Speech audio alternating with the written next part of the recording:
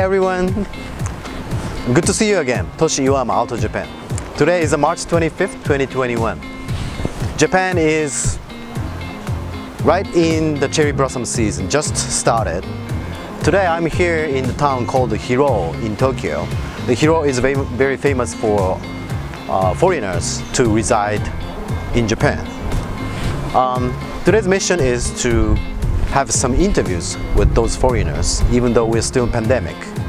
Uh, Japan country is still imposing the restriction about the travel coming into Japan. Let's go check it out.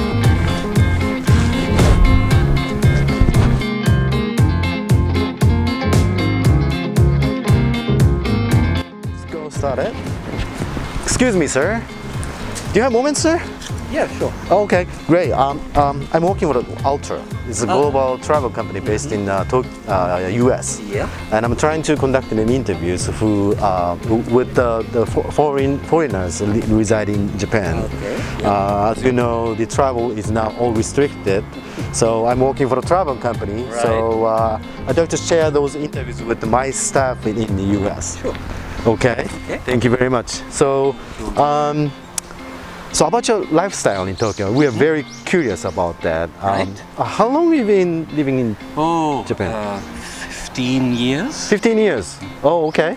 Um, so you do work here. Yes, I work here. Okay. Yeah. Uh, would you mind if I ask you, know, what kind of No, uh, I work at a, a university here.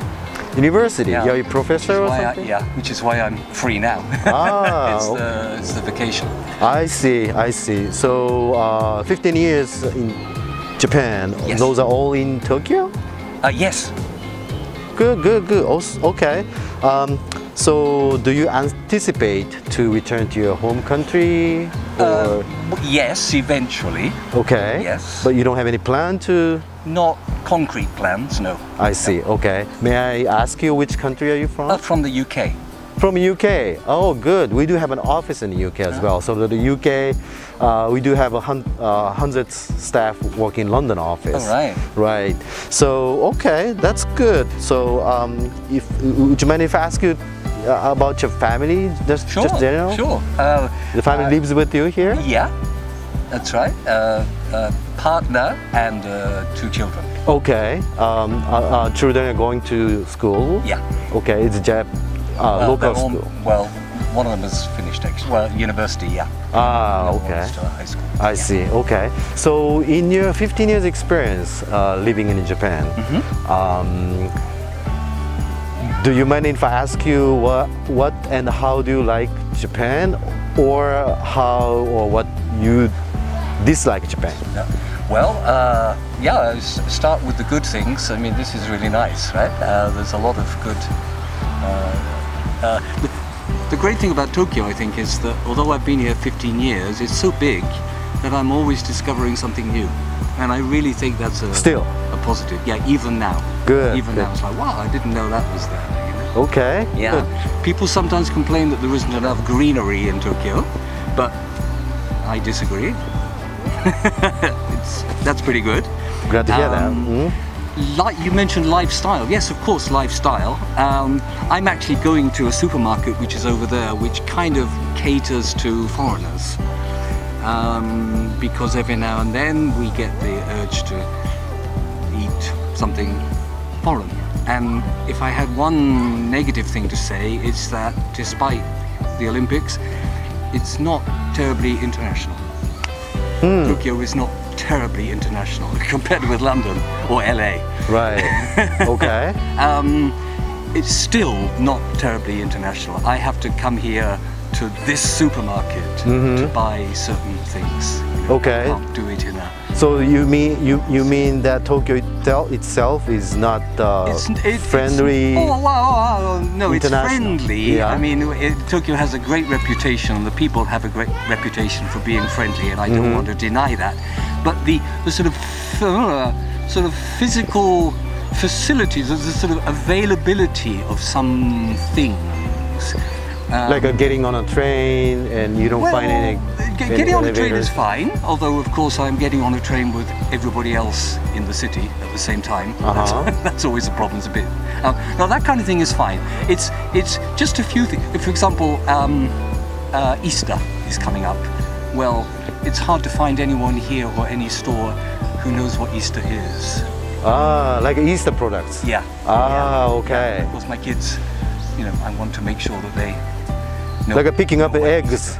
Yes. Ah, Yeah. okay. One of the reasons I'm going to the I see. So that market store, you can find those? yes. Oh, yes. okay, that's so it's, good. It's little things like that, you know. I see. Okay, great. Well, thank you very much.